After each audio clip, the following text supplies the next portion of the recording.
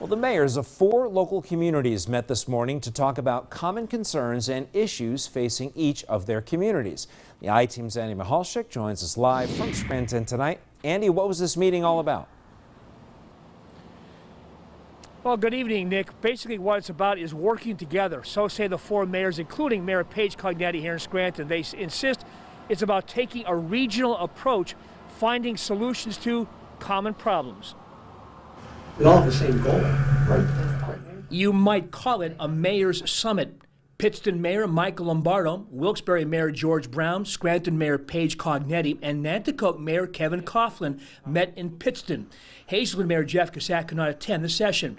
Now, this is the second meeting of the mayors. The first was held in Wilkes-Barre back in February, just as the COVID-19 pandemic was starting to impact the nation and our region. Topics discussed on this day the pandemic's impact on each of their communities, blighted properties, and economic development. Mayor Lombardo hosted Wednesday's brainstorming session.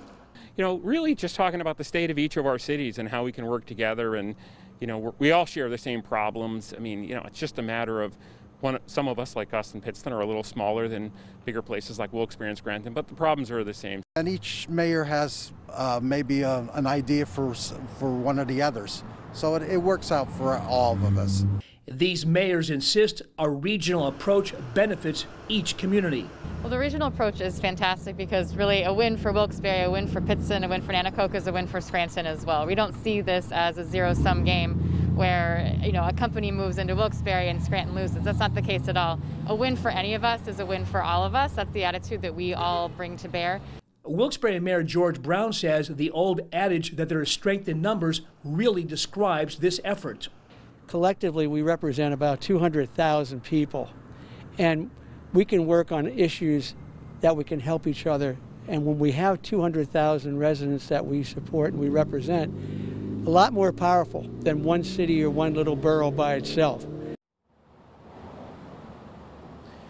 And these mayors insist long gone are the days where individual cities or boroughs or counties will compete against one another, say, for example, bringing a new business in.